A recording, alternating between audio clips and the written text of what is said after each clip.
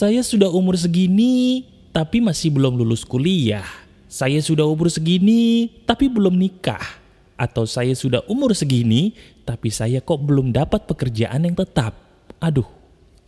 Halo teman-teman, apa kabar? Ada saya kembali Aryan Surya, sahabat baik kamu dari Pagar Kehidupan. Teman-teman, bagaimana keadaan kamu? Apakah diri kamu sebagai sahabat saya kali ini sedang dalam keadaan yang bahagia? Bagaimanapun keadaan kamu, saya doakan dulu ya. Semoga rahmat yang maha kuasa semakin lama semakin membuat hidupmu terasa damai dan bahagia. Amin. Nah kali ini ada saya Aryan Surya, sahabat baik kamu, akan kembali membicarakan sebuah hal yang kayaknya itu kamu banget ya. Pernah nggak sih kamu sebagai sahabat saya nih merasakan sebuah peristiwa seperti yang saya katakan di depan tadi? Ya, kamu sudah umur berapa kemudian ngerasa kok saya udah umur segini tapi belum melakukan ini sih? Kok saya sudah umur segini tapi belum mengalami ini sih? Aduh, akhirnya kamu stres. Jujur pada saya, benar gak sih bahwa itu yang sedang kamu alami saat ini? Kalau benar, tenang aja. Kali ini kita akan membahas itu secara lebih dalam dan kembali, insya Allah dengan izin Tuhan, saya akan kembali memberikan kamu obatnya. Betul, obatnya bagaimana seandainya kalau kamu mengalami peristiwa yang kurang menyenangkan seperti tadi. Oke, ini dia. Jadi sebenarnya video ini terinspirasi kembali oleh curhatan dari sahabat pagar kehidupan teman-teman. Ya, ada sahabat pagar kehidupan yang kita beri nama inisial aja. Inisialnya adalah WS. WS ini adalah seorang laki-laki dia laki-laki teman-teman berumur kurang lebih 35 tahun, ya, 35 tahun, tapi dia mengeluh kepada saya, "Mas, saya ini sudah umur 35 tahun tapi belum menikah." Yuk kita bacain. Assalamualaikum, Waalaikumsalam. Perkenalkan Mas, nama saya adalah WS, kita kasih inisial ya. Saya adalah seorang sahabat pagar kehidupan yang mengikuti pagar kehidupan dari tahun 2018. Saya adalah orang asli Wonosobo dan sangat menggemari pagar kehidupan. Alhamdulillah mas, sejauh saya mendengarkan pagar kehidupan, hidup saya sudah banyak perubahan. Tapi kali ini ada satu hal nih yang benar-benar mengganjal hidup saya dan mungkin juga dialami banyak orang. Saya kali ini sudah berumur 35 tahun, tapi tidak kunjung menikah. Padahal orang tua saya sudah terlihat sedih mas mengatakan kamu mau menikah umur berapa. Sementara mereka sebagai orang tua saya semakin lama semakin bertambah tua. Mas, bagaimana sih caranya menghadapi suatu tekanan yang diakibatkan oleh umur? Saya rasa bukan hanya saya yang mengalami. Tolong dibantu mas bagaimana solusinya. Terima kasih, terima kasih, dan terima kasih. Wassalamualaikum. Waalaikumsalam. WS saya punya kabar gembira buat kamu. Kabar gembiranya adalah hari ini adalah hari keberuntungan kamu. Kenapa? Karena sekarang, ya, sekarang coba deh, kamu sebagai sahabat saya yang mendengarkan suara saya di YouTube kali ini, coba tulis di bagian komentar.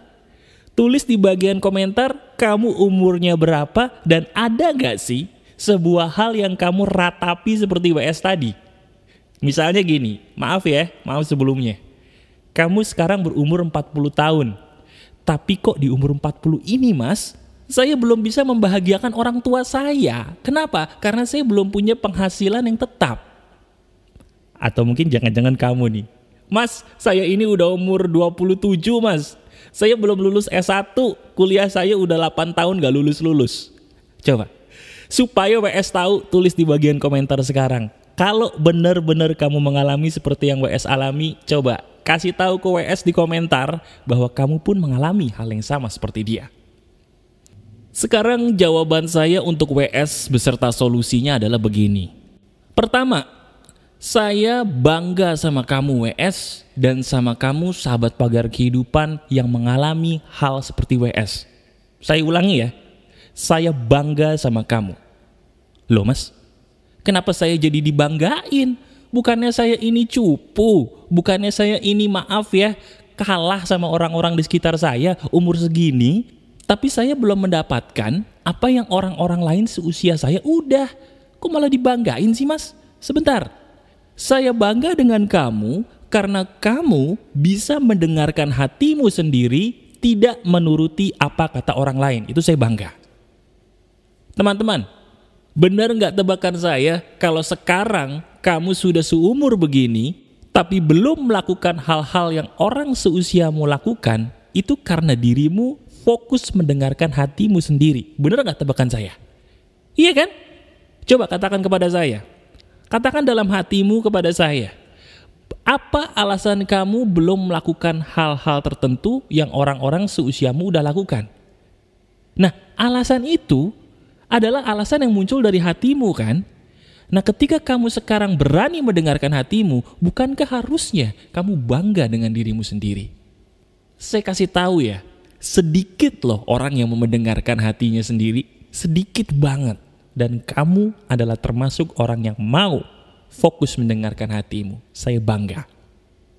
Nah sekarang, cara mengobatinya adalah setelah kamu paham bahwa dirimu adalah orang yang luar biasa dan patut dibanggakan, sekarang cara mengobatinya adalah begini. Tolong siapkan kertas kosong. Ya, siapkan kertas kosong sekarang beserta alat tulis.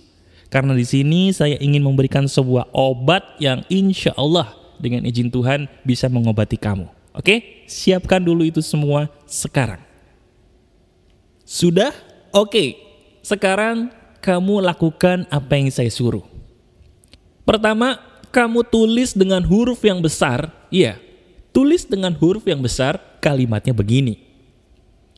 Saya umur segini, tulis berapa tahunnya, belum melakukan X karena X-nya adalah sesuatu hal yang kamu ratapi. Kalau kamu merasa sekarang umur segini belum menikah, tulis belum menikah. Kalau sekarang kamu umur segini belum kuliah dan itu hal yang kamu ratapi, tulis belum kuliah. Kalau sekarang yang kamu ratapi adalah belum mendapatkan penghasilan tetap, tulis belum mendapatkan penghasilan tetap. Pokoknya kalimatnya seperti itu. Saya umur segini, berapa tahun, belum X karena, ah, itu dulu tulis. Nah sekarang, setelah kata karena, saya minta tolong kamu jujur sejujur-jujurnya tulis di kertas tadi alasannya kenapa. Kenapa kamu belum melakukan hal tadi? Saya kasih contoh biar kamu jelas. Anggap saja ceritanya kayak WS nih. WS kalimatnya begini. Saya umur segini 35 tahun belum menikah karena nah Kalimatnya begitu. Setelah kata karena, WS kamu tuliskan kenapa kamu belum menikah. Misalnya alasannya, saya umur segini 35 tahun belum menikah karena belum ketemu yang cocok. Atau saya umur 35 tahun belum menikah karena saya takut tidak bisa membahagiakan pasangan saya. Saya umur 27 tahun belum lulus kuliah karena kuliah bagi saya itu susah banget. Apa pun alasannya, tulis sejujur-jujurnya di kertas itu sekarang juga. Saya tungguin. Silahkan. Sudah? Oke. Sekarang kalau kamu sudah menulis dengan jujur di kertas tadi, saya minta tolong angkat kertas itu. Angkat kertas tadi, kemudian kamu dekatkan dengan mata kamu sampai kamu bisa melihat tulisan kamu sendiri sejelas-jelasnya. Teman-teman, sekarang coba deh. Coba lihat tulisan kamu sendiri. Bukankah kamu sebenarnya kasihan dengan dirimu sendiri? Iya kan? Kamu kasihan dengan dirimu sendiri karena kamu itu sebenarnya tahu Kenapa dirimu belum mencapai apa yang kamu mau?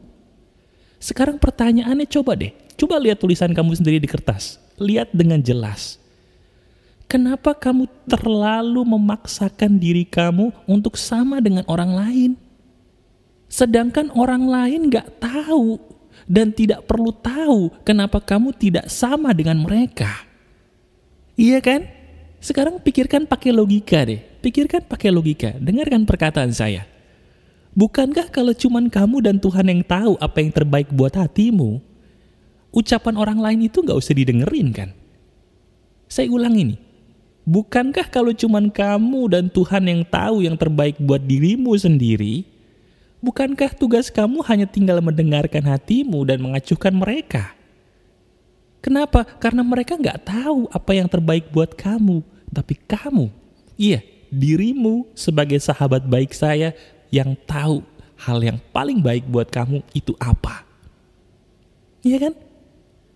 Sedih nggak sih kamu ngelihat tulisan kamu sendiri?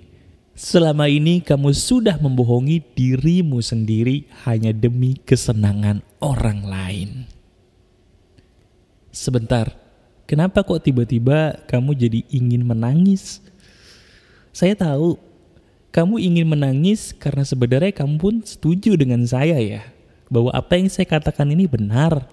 Bahwa memang selama ini kamu terlalu mementingkan bagaimana memenuhi ucapan orang lain dibandingkan melihat ke dalam dirimu sendiri. Pertanyaannya mau sampai kapan? Oke, sekarang gini deh sekarang di bagian akhir ini ada sesuatu hal yang harus kamu tuliskan lagi di kertas. Ambil kertas tadi yang sudah ada tulisan kamu, kemudian siapkan alat tulis. Sekarang tulis ini di bagian bawahnya. Tulis dengan huruf besar persis di bawah kalimat yang tadi sudah kamu tulis. Kalimat yang kamu tulis sekarang adalah begini. Hanya saya yang tahu yang terbaik buat hidup saya.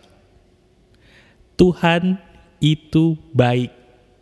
Saya cinta diri saya sendiri karena cuman saya yang tahu yang terbaik bagi hidup saya.